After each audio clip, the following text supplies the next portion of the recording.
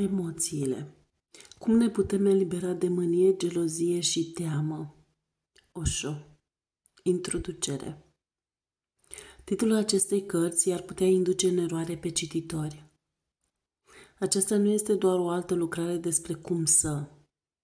Din potriva, ei ne permite accesul la o dimensiune nouă în care toate întrebările de tip cum să dispar în percepție directă a propriei noastre realități personale care este de regulă ascunsă. Noi reducem totul la întrebarea cum. Există un cum răspândit pretutindeni în întreaga lume, iar omul contemporan modern a devenit un veritabil cumist, cum să fac cu tare, cum să mă îmbogățesc, cum să fac ca să am succes, să influențez pe alții și să câștig noi prieteni, cum să meditez, ba chiar și cum să iubesc. Nu e departe ziua când cineva mă va întreba cum să respir. Viața nu poate fi redusă la această întrebare, că cea nu este o tehnologie, când viața este redusă la o simplă tehnologie, bucuria de a trăi dispare. Această carte vă va dezvălui o perspectivă nouă care vă va permite să vă deblocați propriile emoții, să experimentați Veți constata astfel că mânia voastră se naște în minte. Toate emoțiile se nasc în minte. Mintea este un fenomen complex care include gândirea uh, conceptuală, dar și comportamentele emoționale, sentimentele. 1. Ce sunt emoțiile? Este important să înțelegem acest lucru. Emoțiile se nasc în mintea noastră. Conștiința nu își are însă sediul în minte. Mai mult, mintea se află în interiorul conștiinței. Conștiința este vastă, infinită. Emoțiile, dorințele, ambițiile, toate acestea se nasc în mintea noastră. Mai devreme sau mai târziu ele vor dispărea. Dar chiar și după ce capul moare și este îngropat în pământ, conștiința nu dispare. Nu noi conținem conștiința, ci ea ne conține pe noi. Conștiința este mai mare decât noi. Este adevărat, emoțiile, sentimentele, gândurile, întreg conținutul minții provin din exterior, putând fi manipulate de lumea exterioară. Acest lucru le-a devenit evident chiar și oamenilor de știință. Misticii au afirmat însă cu mult înaintea oamenilor de știință, încă de acum câteva mii de ani, că toate aceste lucruri cu care este umplută mintea noastră nu ne aparțin, că noi suntem mai presus de ele. Noi ne identificăm însă cu ele și acesta este unicul nostru păcat. Mintea este un aspect care gândește, în timp ce inima este un alt aspect al aceleiași minți, care simte. Sentimentul și gândirea, emoțiile și gândurile Complet separată de acestea este însă starea de martor. Există un martor interior care contempla totul, inclusiv gândurile noastre, inclusiv emoțiile prin care trecem, fără să se identifice cu ele. Acesta nu este nici bun, nici rău, nici plăcut, nici neplăcut, nici gând, nici emoție. El nu reprezintă nici mintea, nici inima. Iubirea ne dă întotdeauna o stare de nervozitate. Există anumite explicații în acest sens. Iubirea se naște din subconștient, în timp ce toate capacitățile noastre se află în planul conștient. Toată cunoașterea noastră, toate calitățile pe care știm să le manevrăm, se află în mintea conștientă. Iubirea se naște din subconștient, iar noi uh, nu știm cum să o manipulăm ca să facem ce să facem cu ea, iar acest lucru ne depășește. Subconștientul este de 9 ori mai mare decât planul conștient, așa că tot ceea ce provine din subconștient este copleșitor. Așa se explică de ce sunt atât de speriați oamenii de emoțiile lor. Ei încearcă să le blocheze de teamă să nu creeze haos în micul lor univers conștient. Într-adevăr, emoțiile creează haos, dar haosul are farmecul lui. Simțim cu toții o nevoie de ordine, dar și o nevoie de haos. Când simțiți nevoia de ordine, folosiți ordinea, adică mintea conștientă. Când simțiți nevoia de haos, descătușați-vă subconștientul și aduceți haosul în viața dumneavoastră. Omul plenar este acela care se poate folosi în egală măsură de ambele aspecte, care nu permite interferența minții conștiente cu planul subconștient, dar nici a subconștientului cu planul conștient. Eu cred în totalitatea vieții, în alternanța dintre zile și nopți, dintre zilele însărite și cele înnorate. Eu cred că ne putem bucura de tot ceea ce ne oferă viața. Nu aveți nevoie decât de puțină luciditate pentru a conștientiza ce se petrece în viața dumneavoastră și pentru a vă bucura de ea. Voi nu sunteți una cu mintea, nici cu corpul. Există un martor înăuntru vostru care își poate privi mintea, emoțiile, reacțiile fiziologice. Acest martor este adevăratul vostru eu. El are capacitatea de a se bucura de orice odată ce vă centrați în el. Mintea este cea care simte durerea, suferința. Ea este cea care simte toate emoțiile, atașamentele, dorințele și poftele. Dar toate acestea nu sunt decât proiecții ale minții. În spatele minții se află sinele vostru real, care nu dispare niciodată. El este întotdeauna prezent, aici și acum. Dacă vă simțiți mânioși, fiți mânioși, fără a vă judeca singuri, fără a vă condamna sau a vă justifica. Iată care este diferența dintre emoțiile pozitive și cele negative. Dacă deveniți conștient de o anumită emoție în lumina lucidității dumneavoastră ea dispare, a fost o emoție negativă. Dacă deveniți conștient de o altă emoție cu care deveniți una, dacă emoția respectivă vă cuprinde întreaga ființă, atunci este vorba de o emoție pozitivă. Lumina conștiinței acționează diferit în cele două cazuri. Ea le dizolvă pe cele negative, capabile să vă otrăvească viața, și le amplifică pe cele pozitive, uh, beatifice, extatice, cu care ființa ajunge să devină una. Așadar, pentru mine acesta este uh, criteriul. Dacă luciditatea amplifică emoția, acesta este pozitivă. Dacă luciditatea dizolvă emoția, a fost o emoție negativă.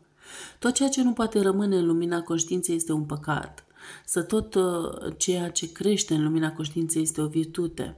Virtutea și păcatul nu sunt concepte sociale, ele se referă la realizările noastre interioare.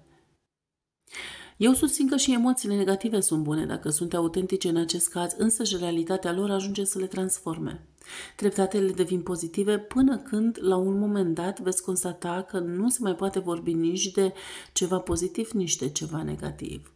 Rămâne doar autenticitatea. Nu are nicio importanță dacă aceasta este bună sau rea, pozitivă sau negativă. Nu mai existați decât dumneavoastră, simplu și autentic. Această autenticitate vă permite să sesizați o viziune a realității absolute. Numai realul poate cunoaște ceea ce este real, la fel cum numai adevărul poate cunoaște adevărul și numai ceea ce este autentic poate cunoaște ceea ce este autentic. Emoții și sentimentalism. Emoțiile sunt uh, sinonimă cu puritatea. Sentimentalismul este o păcăleală. Am învățat cu toții asemenea lucruri. De pildă, femeia știe că dacă plânge, va uh, repurta o victorie asupra bărbatului. Se întâmplă însă uneori ca plânsul să nu vină, căci el nu este atât de ușor de manipulat. Nu contează, femeia încearcă, ă, se preface, joacă teatru. Lacrimile ei sunt însă false. Chiar dacă îi curg din ochi, ele sunt false, căci nu au venit de la sine, ci au fost aduse cu forța. Acesta este sentimentalismul, emoții create manipulate cu viclenie. Este aceeași diferență ca și între rațiune și raționalizare. Raționalizarea reprezintă o manipulare a rațiunii, la fel cum sentimentalismul reprezintă o manipulare a emoțiilor. Dacă sunteți un om cu adevărat rațional, veți deveni un om de știință. Dacă sunteți o ființă cu adevărat emoțională, puteți deveni un poet. Este frumos când lucrurile se petrec astfel. Dialogul dintre rațiune și emoție este dificil, dar nu imposibil. Când avem însă de a face cu raționalizări și sentimentalisme, totul devine foarte dificil. Între rațiune și emoție există unele dificultăți, dar există și compasiune, efortul de a se înțelege reciproc. Mulți oameni cred că sentimentalismul este sinonim cu spiritualitatea. Emoțiile se nasc în minte, la fel ca și gândurile. Ceea ce voi numiți inima face parte tot din mintea voastră, la fel ca și capul. Voi vă emoționați foarte ușor, țipați și plângeți cu lacrimi de crocodil, dar nu există nimic spiritual în acest proces. Lacrimile sunt niște obiecte fizice la fel cum ochii sunt o parte din corpul dumneavoastră. Emoțiile voastre nu sunt altceva decât un dezechilibru în câmpul energiei voastre fizice. Țipați și plângeți și apoi vă simțiți eliberați, relaxați. Femeile din toată lumea cunosc foarte bine acest proces. Ele sunt niște adevărate artiste ale plânsului știind cât de bine le face. Femeile țipă și plâng până când ating o stare de ușurare. Este într-adevăr un proces de harasist, dar care nu are nimic spiritual în el. Oamenii continuă însă să confunde lucrurile. Ei au drept spirituale, spirituale tot felul de lucruri care nu au nimic de a face cu spiritualitatea. Nici, uh, uh, deci noi ne-am educat mintea astfel încât să se exprime tot timpul ignorând în schimb inima. Din acest punct de vedere, eu nu sunt de acord cu Kachil Gibran. Osho se referă aici la uh, profetul lui Kahil Gibran, care insistă exclusiv, exclusiv asupra inimii. Inima reprezintă doar un popaz la mijlocul drumului, nu destinația finală. Destinația este ființa, acolo se termină calea, căci nu mai există niciun alt loc în care am putea merge de aici. Reprimare și control. Animalele nu aduc niciodată războaie. Evident, ele se luptă uneori, dar acestea sunt bătălii individuale, nu războaie colective în care ciorile din est se luptă cu cele din vest sau în care câinii din India se bat cu cei din Pakistan. Nu, câinii nu sunt atât de proști așa cum nu sunt nici ciorile. Da, animalele se luptă uneori între ele și acest lucru nu este neapărat ceva rău. Dacă spațiul lor de influență este violat, dacă teritoriul este încălcat, ele se luptă, dar lupta lor este una individuală, nu un război mondial. Cum au procedat în schimb oamenii? Ei și-au reprimat reciproc emoțiile, nepermițându-le semenilor lor, semenilor lor să fie din când în când mânioși, lucru cât se poate de natural. Rezultatul final a fost că toată lumea își acumulează mânia, reprimând-o. Când se adună prea multă o travă, aceasta explodează, iar oamenii pleacă la război. La fiecare 10 ani este necesar un război. Și cine credeți că sunt cei responsabili pentru această stare de lucruri? Aceștia sunt așa zisii voștri sfinți și moraliști, factorii de bine, oamenii care nu v-au permis niciodată să fiți naturali. Ce este reprimarea? Reprimarea înseamnă să trăiești o viață pentru care nu ai nicio chemare, să faci lucruri pe care nu dorești să le faci, să fii altfel decât ești. Reprimarea este o cale sigură către autodistrugere, este o sinucidere lentă, dar absolut sigură. Este o modalitate de a ne otrăvi viața. Exprimarea înseamnă viața, reprimarea înseamnă sinucidere. De ce se reprima atât de mult omul până când devine bonlav? Deoarece societatea îl învață să se autocontroleze, nu să se transforme, iar calea transformării este complet diferită. Mai întâi de toate, ea nu are nimic de a face cu controlul. Ea este chiar opusul acestuia. Prin reprimare, mintea se divizează. Partea pe care o acceptați devine conștientă, iar cea care nu o acceptați sau pe care o, negli- o negați devine inconștientă. Această diviziune nu este naturală. Ea se petrece numai din cauza reprimării. Voi aruncați în subconștient toate gunoaiele pe care le respinge societatea, dar rețineți, cu cât aruncați mai multe lucruri aici, cu atât mai plenar devin aceste parte integrantă din voi. Ele vă pătrund în mâini, în oase, în sânge, în bătăile inimii. La ora actuală, psihologii afirmă că aproape 80% din boli sunt cauzate de emoțiile reprimate. Marea majoritate a atacurilor de cos sunt manifestări ale mâniei reprimate în inimă, ale urii care au trăvit inima. Așadar, regula este următoarea. Controlul reprimă, iar transformarea exprimă. Nu trebuie însă să vă exprimați în fața celorlalți că ceilalți sunt irelevanți. Data viitoare când uh, veți simți, vă veți simți enervați, alergați de 10 ori în jurul casei, apoi așezați-vă sub un copac și constatați ce s-a întâmplat cu mânia. Aceasta a dispărut, dar fără a fi reprimată, fără a fi controlată, fără a fi descărcată asupra altor persoane. Dacă vă descărcați mânia asupra altor persoane, creați un lanț de evenimente, că și ceilalți sunt la fel de necopți ca și voi, la fel de inconștienți. Ei se vor descărca la rândul lor asupra voastră, căci și-au reprimat la fel de multă mânie. Se creează astfel un lanț de evenimente. Voi vă descărcați asupra lor, ei se descarcă asupra voastră și astfel deveniți dușmani. Nu vă mai descărcați mânia asupra altora. Este ca și cum ați vomita. Nimeni nu se duce să vomite pe altcineva. Mânia are nevoie de, de o clismă. Vă puteți duce în baie să vomitați. În acest fel vă veți curăța organismul. Cine își suprimă voma se simte îngrozitor. Cine se eliberează prin vomă se simte din nou bine, sănătos, neîmpovărat. Ați mâncat ceva toxic și organismul a respins mâncarea. Nu are niciun rost să vă forțați stomacul să accepte ceea ce nu dorește. Mânia este un proces similar, dar la nivel mental.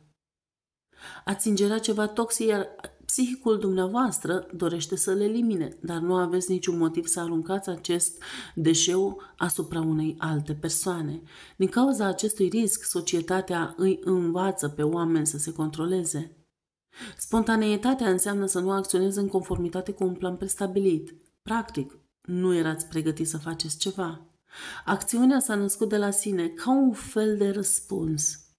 Este important să înțelegeți aceste lucruri. Mai întâi de toate, există o deosebire între reacție și răspuns. Reacția este dominantă de cealaltă persoană. V-a insultat, sunteți mânios, după care reacționați în virtutea mâniei dumneavoastră. Asta înseamnă reacție. Nu puteți vorbi de independență. Oricine vă poate influența într-o direcție sau alta. Vă simțiți imediat afectat. Oricine vă poate șantaja emoțional. Reacția este o formă de șantaj emoțional. Înainte nu ați fost mânios. Altcineva v-a insultat, iar insulta lui va genera o stare de mânie. Apoi, aceasta conduce la acțiune. Răspunsul se naște din uh, libertatea individuală. El nu depinde de altcineva. O altă persoană vă poate insulta, dar dumneavoastră nu vă simțiți mânios. Din potrivă, vă puteți gândi cu detașare. Oare de ce vă insultă? Poate că are dreptate în acest caz. Ar trebui să îi fiți recunoscător. În niciun caz să vă înfuriați. Poate că nu are dreptate în acest caz. Ce rost are să vă încărcați inima cu povara mâniei?